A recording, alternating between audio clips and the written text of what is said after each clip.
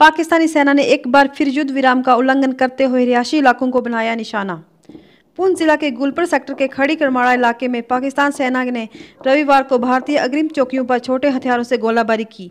जब भारतीय सेना ने जवाबी कार्रवाई की तो पाक सेना ने हर बार की तरह रिहायशी इलाकों पर गोलाबारी शुरू कर दी। इस गोलाबारी में किसी प्रकार की जानी नुकसान की सूचना नहीं प्राप्त हुई है, लेकिन इलाके में दहशत का माहौल बना हुआ है।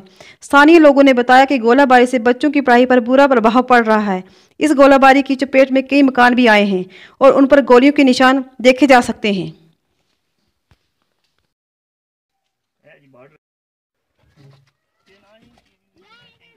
बाग सैन है सर मेरा नाम?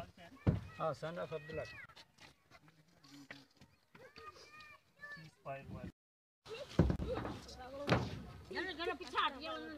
खूब सेकंड दे दे हम लोग अब क्या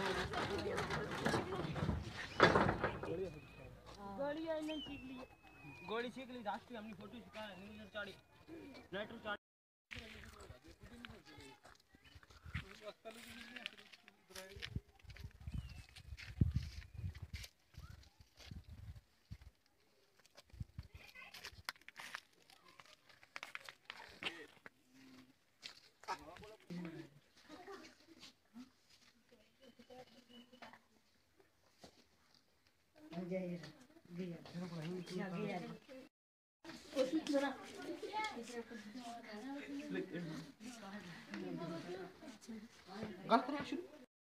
दादी है दादी आने पगली कोई कोई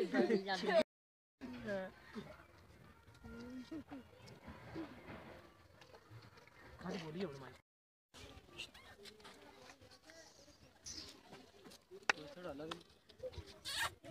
फायर का बारह बजे दस दस ग्यारह बजे भी फायर होए जैसे गोली लगी जाओ कि तू बाकी का टबर साथू नहीं हो गई तो अंदर की गोली में मकान का तीन साल का बुना आई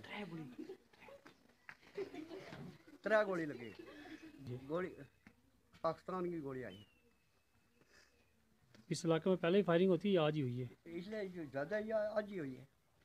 पहले थोड़े बहुत दाएँ बाएँ ना लगी मी बात चली इसलिए आज ही आई कुछ मिनट में लगी ये फायर शुरू हो गए तो उस वक्त हम बाज़ार से ये टैंकी जी है प्लास्टिक की हज़ार लीटर की इस फायर के नाल उपला पासों गोली लग गई तो थल्ला की गोली बाहर निकल गई थल्ला वाला पासों जो है खत्म हो गई और फायर जो है पाकिस्तान को जो है हर वक्त जो है शुरू ही रही